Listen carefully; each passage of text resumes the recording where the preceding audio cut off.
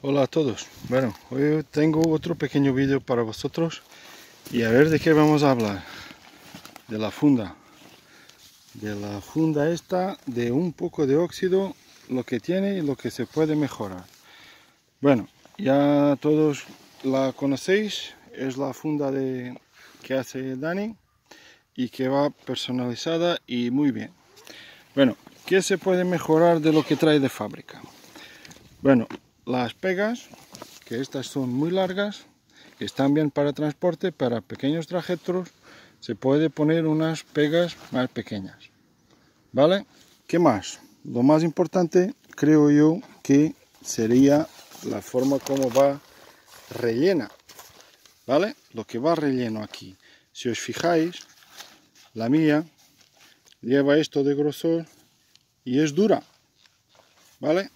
A ver si se aprecia está duro, que no es una espuma como la que trae Dani de, fábrica, ¿vale? Esto está duro. ¿Qué tiene dentro?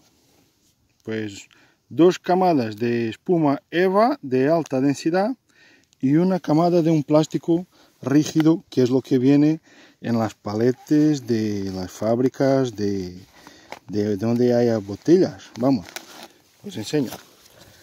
Tiene una camada de una espuma Eva, blandita, creo que de célula cerrada, y la camada esta del plástico que le aporta rigidez, ¿vale?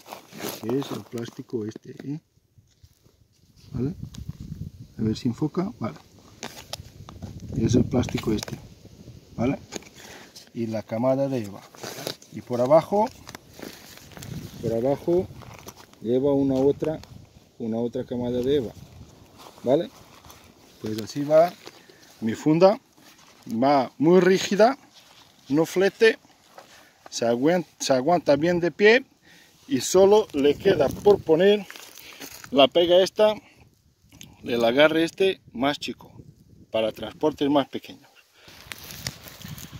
Bueno pues nada espero que os haya gustado y poquito a poco os, os voy enseñando todo mi equipo. ¿Vale? Un saludo a todos.